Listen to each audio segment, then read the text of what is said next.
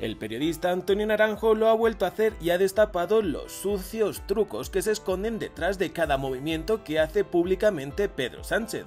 En este caso lo ha hecho con la llegada de Edmundo González, presidente electo de Venezuela, a nuestro país este fin de semana. Asegura que Pedro Sánchez no solo está apoyando del golpe de Estado que ha dado Maduro en Venezuela, sino que está trabajando para que ese golpe de Estado se haga efectivo, siendo un cómplice más como el expresidente José Luis Rodríguez Zapatero. Antonio Naranjo lo ha explicado muy bien en el programa En Boca de Todos, utilizando un símil muy sencillo, el del típico abusón de un colegio o un instituto de nuestro país. Pero en este caso, en vez de expulsar al abusón del instituto, como sería lo lógico, lo que están haciendo es expulsar a la víctima, ofreciéndole que pueda ir a otro centro educativo donde no vaya a recibir esos ataques. Antonio Naranjo asegura que Pedro Sánchez ha hecho exactamente lo mismo.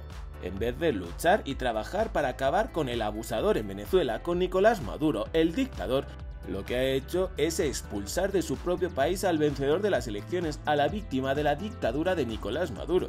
De esta forma, Pedro Sánchez ha perpetuado el legado de Zapatero y ha permitido que Nicolás Maduro pueda seguir en el poder unas cuantas décadas más. Os dejamos con el brutal repaso de Antonio Naranjo porque no tiene desperdicio, pero antes recuerda suscribirte y dejarnos un like, con eso vas a ayudar a que este vídeo llegue a muchísimos más españoles. Suscríbete. Lo primero, que no nos tomen por imbéciles, que somos gente ya adulta. ¿Tú te crees que de verdad se deja salir de la embajada de los Países Bajos a un tío para que se vaya a la de España?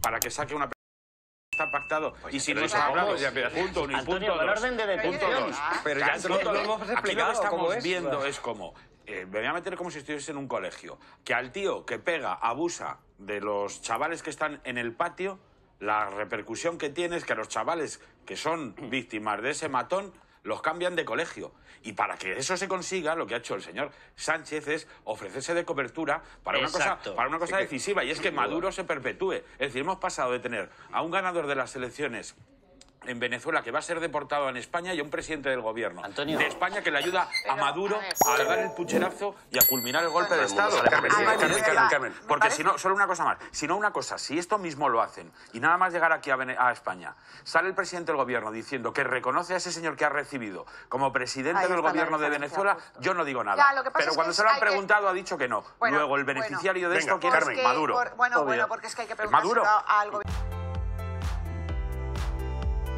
No olvides darle like y suscríbete si aún no lo has hecho.